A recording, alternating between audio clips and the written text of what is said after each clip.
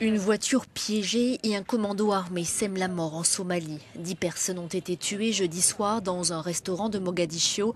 L'attaque a été aussitôt revendiquée par les insurgés islamistes Shebab. Un kamikaze a fait exploser une voiture piégée et des hommes armés ont ensuite pénétré dans l'établissement.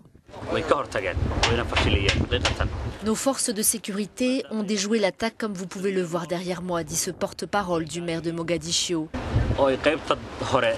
Le conducteur du véhicule a été appréhendé, dit-il, quelques secondes après avoir fait exploser les charges.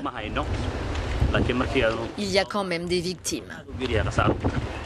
Cette attaque a visé un restaurant populaire du front de mer de Mogadiscio, habituellement fréquenté par de jeunes couples et des officiels somaliens.